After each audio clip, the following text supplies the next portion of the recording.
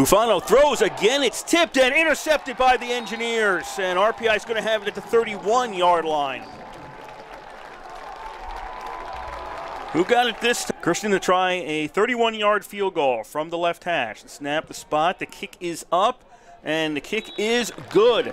4.22 to go here in the first. Now he's backing into the Now, shot. they had a Yep. weird formation. Now they're going to shift into a standard formation as they had everybody behind uh, Marinopolis. Marinopolis on third down pass. That is complete. Markel is in for the touchdown. Retrieve back to kick. Boots it away. It's a high kick.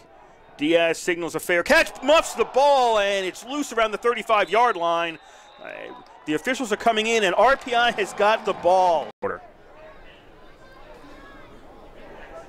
Kelly goes in motion. Kelly fakes pitching it to another man, runs to the left, and he is in for the touchdown.